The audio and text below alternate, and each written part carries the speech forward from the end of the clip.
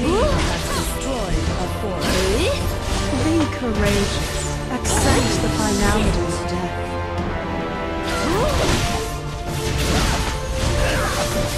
This is the price you pay for crossing me.